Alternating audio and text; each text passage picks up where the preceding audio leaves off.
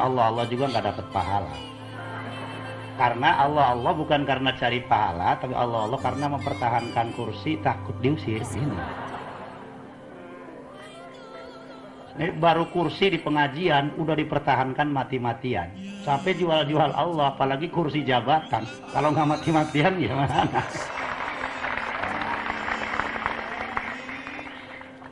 Ya pantesan. Diajak kembali pada Hito 26 lepas dari politik praktis banyak yang ngotot nggak mau maunya jual NU ke politik aja. Katanya demi perjuangan iya deh demi perjuangan perjuangan kursi gitu dah. Apa ada pertandingan malam ini? Kok bisa 1-0 rupanya ingetnya piala dunia terusnya orang. Ini ngomong-ngomong malam ini acaranya mana dengan mana pak Jangan khawatir insya Allah saya juga tahu diri. Ya bukan tahu diri, saya juga ingin tahu gitu.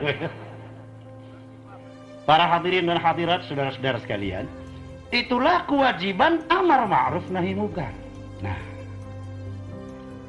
jadi sekarang yang penting amar ma'ruf nahi munkar kalau masih jalan selesai. Kenapa nggak mesti ributkan?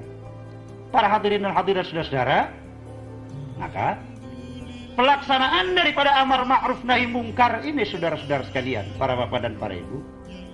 Nabi Nabi besar Muhammad sallallahu alaihi wasallam berfirman, "Marra'a minkum munkaran falyughayyirhu biyadihi. Fa illam yastati' fa bilisani, wa illam yastati' fa biqalbihi, wa dzalika adhaful iman."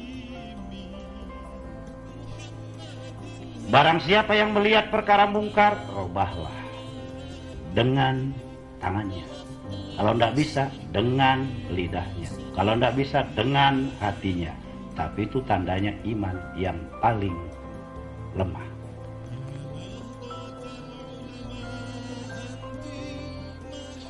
Lepasnya NO daripada politik praktis ini tidak lain adalah sebagai salah satu konsekuensi daripada penerimaan Pancasila sebagai satu-satunya asas.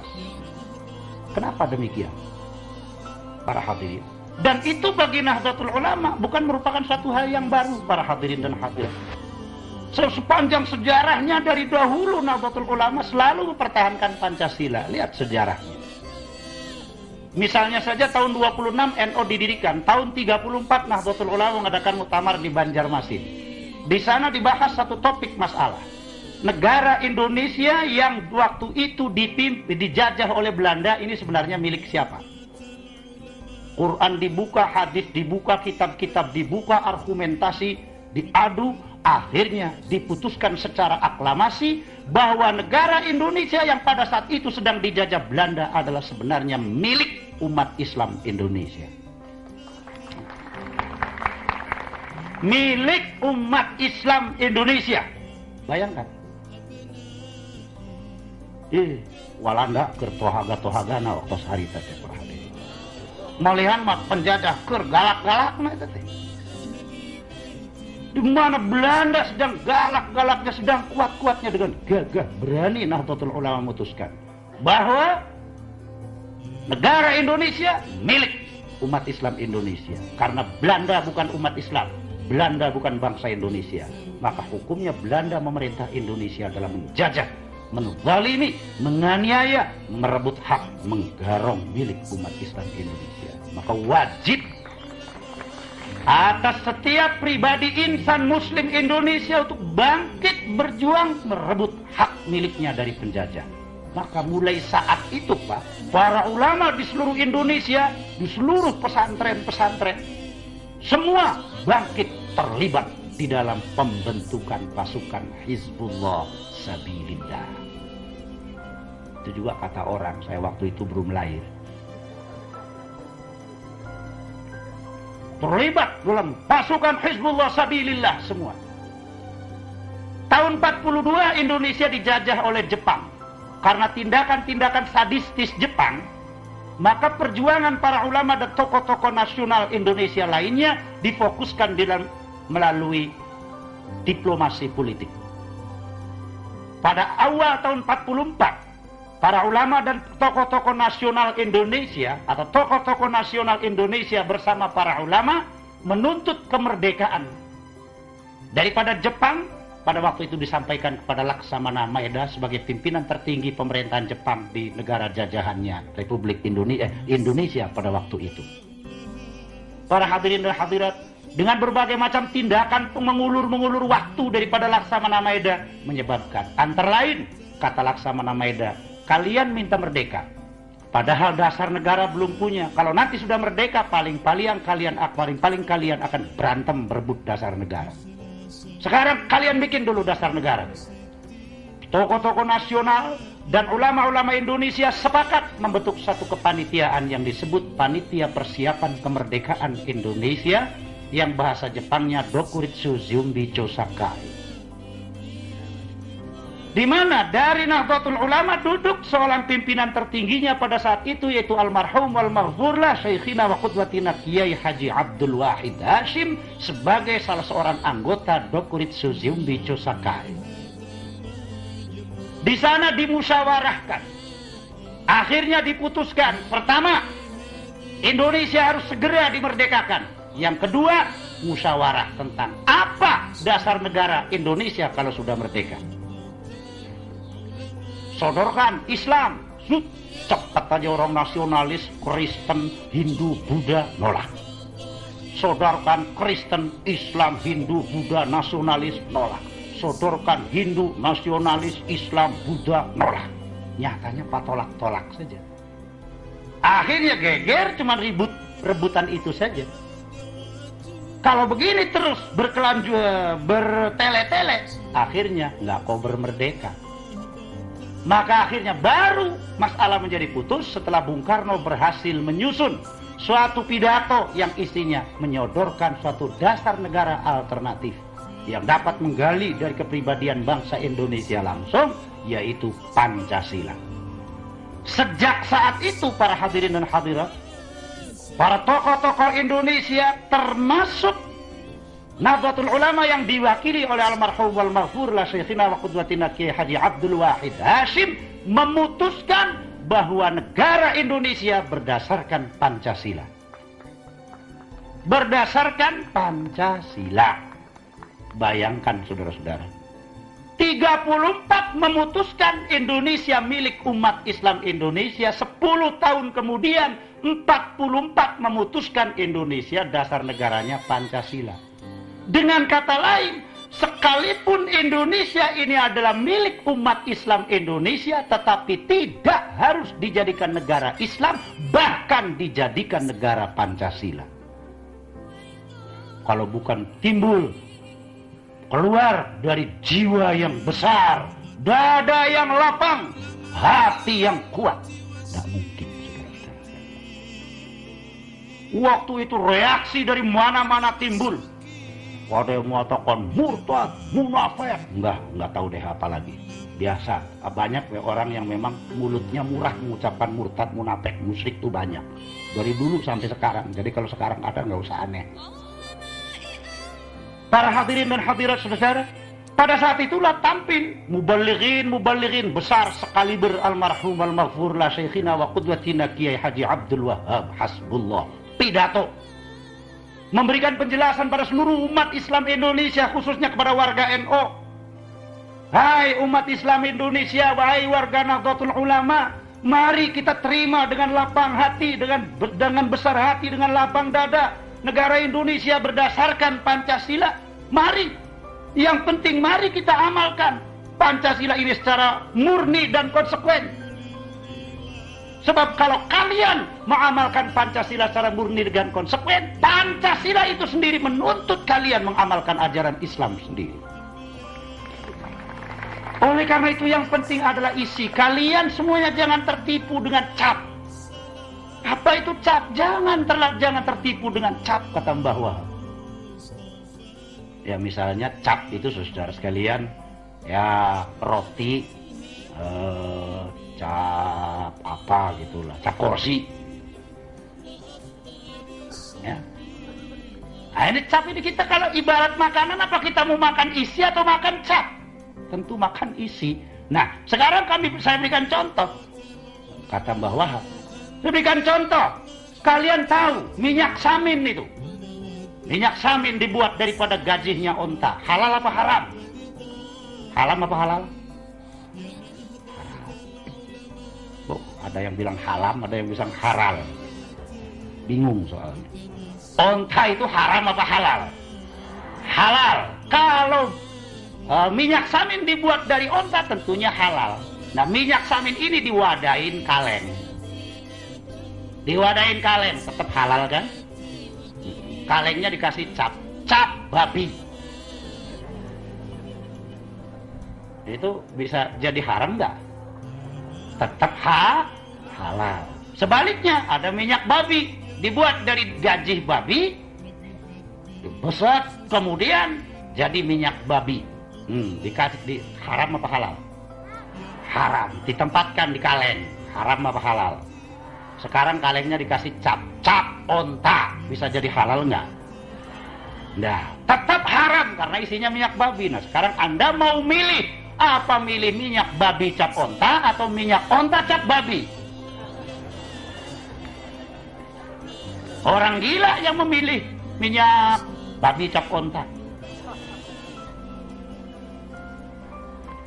Apalagi Pancasila bukan hanya sekedar, sekedar cap bagi bangsa Indonesia.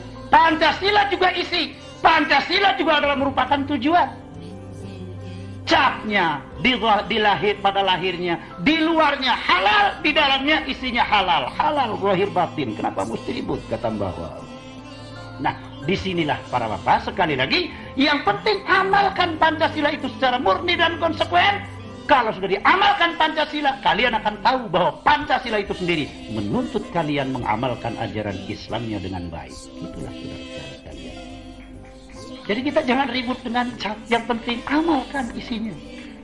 Para hadirin dan hadirat, saudara-saudara.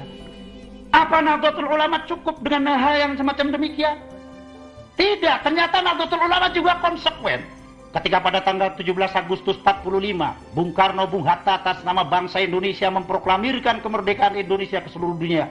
Geger maka awal Oktober awal Oktober 45 Belanda mulai lagi berusaha menjajah Indonesia dengan mendompleng pasukan sekutu.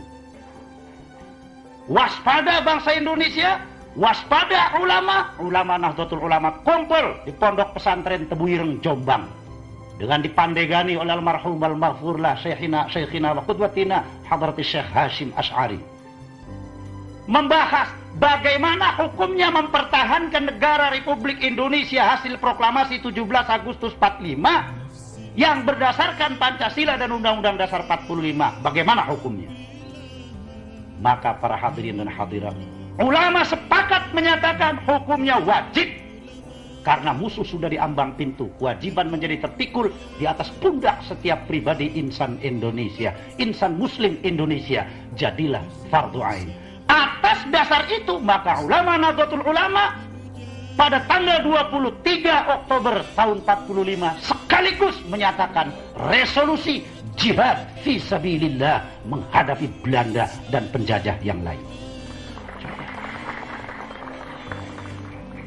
Siapa yang berani pada saat itu? Indonesia baru berumur beberapa bulan. Belanda dengan segala kekuatannya yang dompleng pada pasukan sekutu dalam hal ini Inggris Inggris Raja Lautan, Amerika satu-satunya adik kuasa. Dihadapi dengan tekad bulat, dengan semangat Allahu Akbar, jihad visabilillah. Pada akhirnya kemudian dicapai kata sepakat dengan pimpinan tertinggi perlawanan rakyat di Surabaya, almarhum Bung Tomo. Maka kemudian terjadilah suatu peristiwa yang kemudian kita kenang sebagai hari pahlawan yaitu pada tanggal 10 November tahun 45 di Surabaya. Andil para ulama luar biasa besarnya. Andil Nahdlatul Ulama luar biasa besarnya.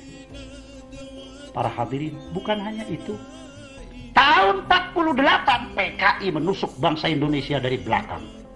Dengan peristiwa Madiun Affair yang dipimpin oleh Musa gelap kuburannya. Iya, kalau kiai rahimahullah kan. Kalau wali nawarallahu darihahu kan begitu ya. Kalau musa gelap kuburannya.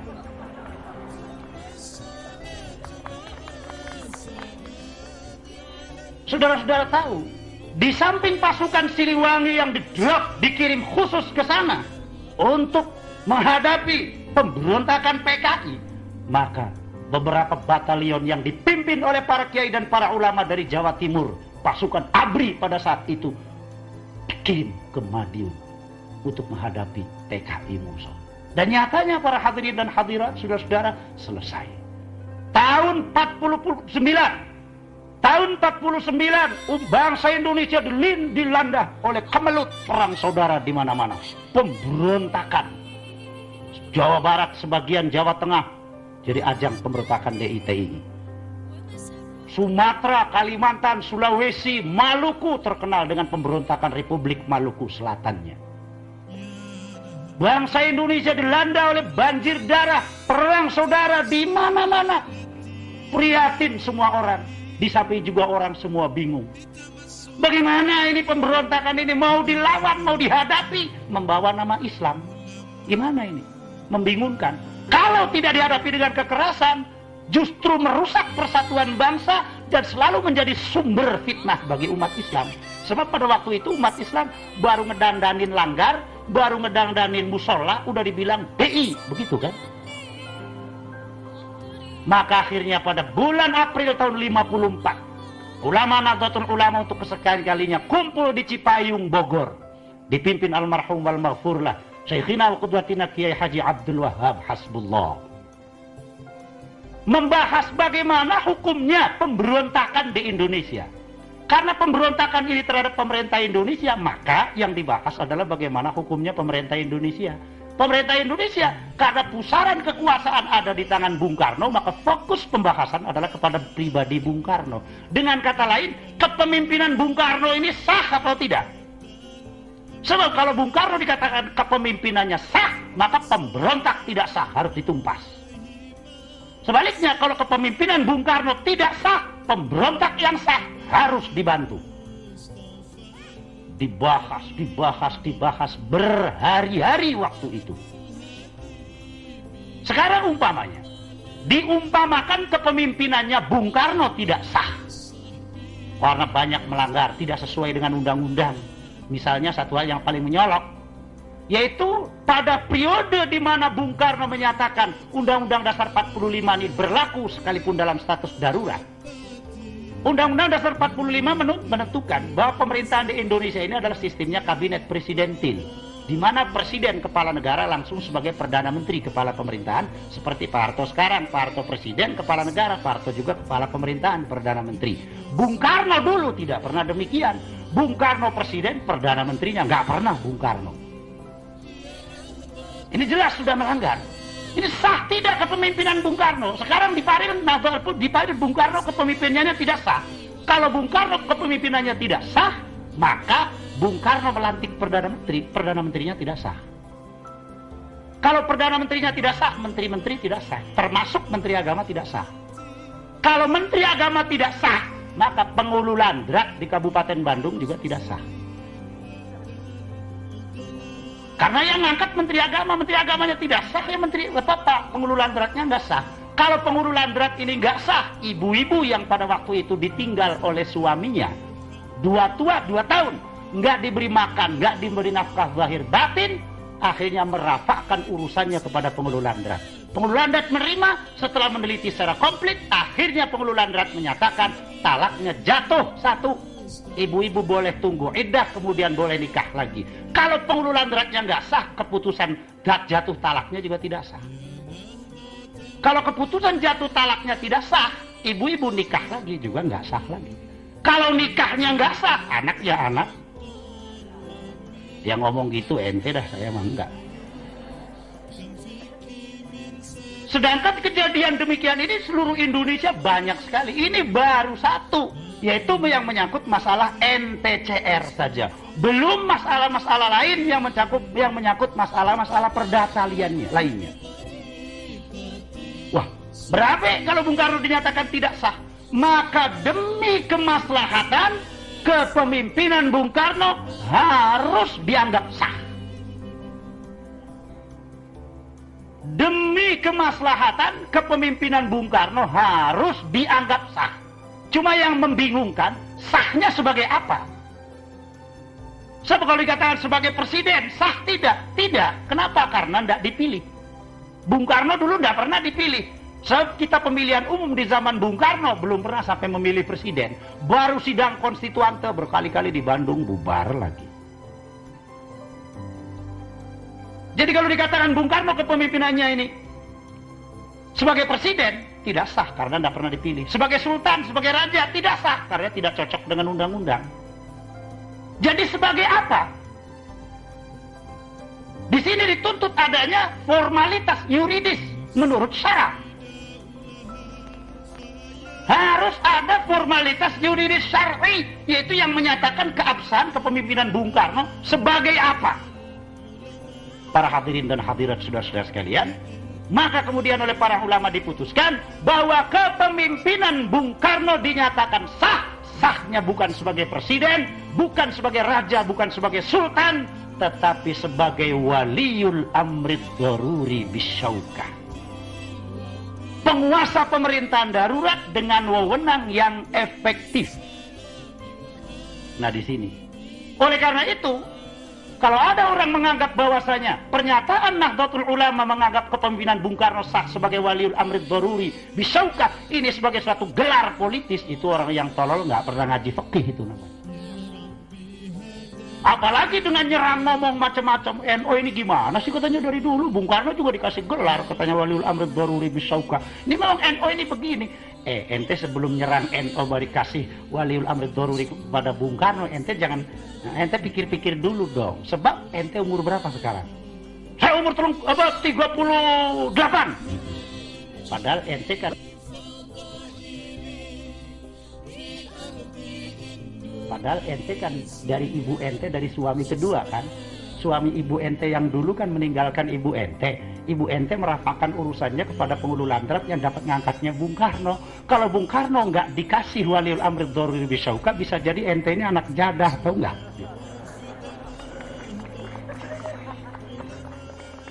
Ditolong-tolong kok malah melotot-melotot ente.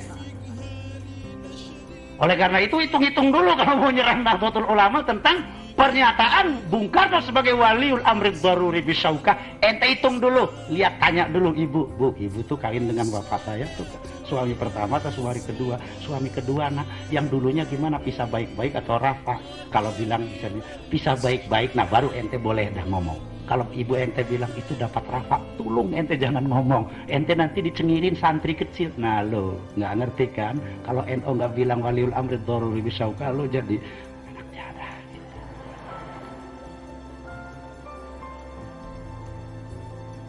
para hadirin dan hadirat saudara-saudara sekalian, bukan hanya itu. Maka karena kepemimpinan Bung Karno ini sah, pemerintah Indonesia pada waktu itu sah. Kalau pemerintah ini sah, pemberontak tidak sah. Harus dihadapi dengan kekerasan. Mulai saat itulah Nahdlatul Ulama memberikan fatwa kepada pemerintah, hadapi pemberontakan dengan kekerasan. Pertama-tama dikirim almarhum Kolonel Ahmad Yani waktu itu Diperintahkan sebagai Panglima Operasi 17 Agustus untuk membasmi pemberontakan di Sumatera Barat. Dan yang terakhir adalah DITII dengan Operasi Pagar Bitis. Barangkali bapak-bapak saudara-saudara masih punya kenangan dulu ikut Pagar Bitis. Suatu operasi yang menggambarkan kerjasama antara ABRI, ulama, rakyat, dan pemerintah jadi satu sukses.